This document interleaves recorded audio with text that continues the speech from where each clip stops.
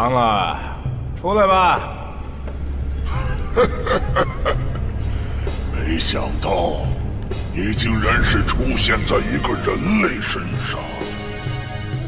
不然我还能出现在哪里啊？消散于天地之间？哈！我说，你怎么让火龙代替你说话呀？直接出来不行吗？不不不，我现在还不能轻易现身。哼！今日被你发现，你爱怎样怎样吧。不过那人类，你别和他计较。那么久时间了，你还是在意人类？咱们老朋友聊聊天，不行吗？哼！罢了，我与你们四个谁都谈不来。一万年时间，还是不能抹除你心中的痛。我们只是他凭空创造出来的，难不成你想反抗他？是又如何？你若是想告密，就去；你若是想杀我，也可以。反正我与他已经是本命相连。哦，罢了，你走吧。你如此相信这个小家伙，我倒是想看看他到底如何厉害。唉，何必呢？想要控制我就直说。这次只是身为老朋友想见一见你，既然你不愿意，那就算了。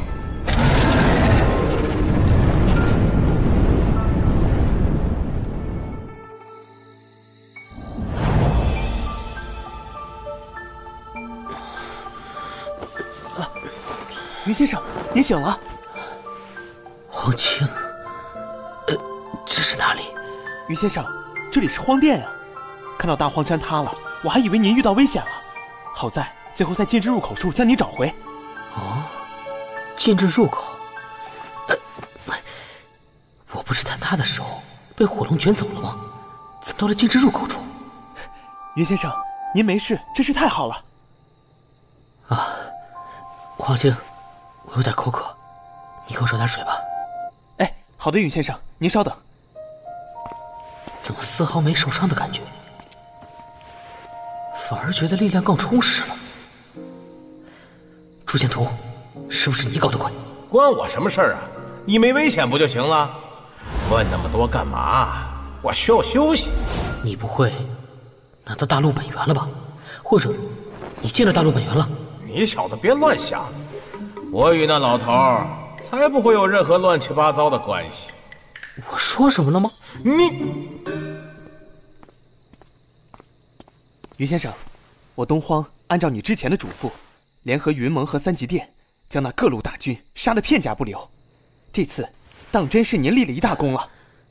放心，好机会还在后面。嗯，不过有件事，我或许该向您讲一下。